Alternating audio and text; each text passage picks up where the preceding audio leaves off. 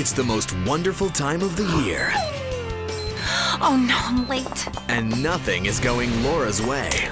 Oh no. I- I'm sorry, if my alarm clock and then my shoe and. You're fired. Merry Christmas. You got a dog in there? What makes you say that? I knew it. I'll have you out in time for Christmas, okay? I promise. To make this a great Christmas, I wish someone could just come in and fix my whole life. Laura will need a little holiday magic. Hi there.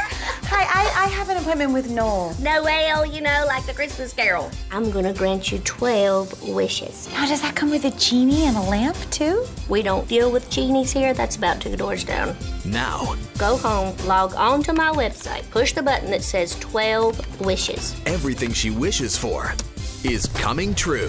Whoa! Oh! Whoa! Wow, Rosie looks like you got a new best friend. But when every wish is your demand, To life coaches. and the magic of the 12 wishes. be careful what you wish for. Everything has a cause and effect, for heaven's sakes. Didn't you read the fine print? You have five days to make holiday magic. Can you do it? If we don't nail this fashion show, it's over. And I am all out of wishes.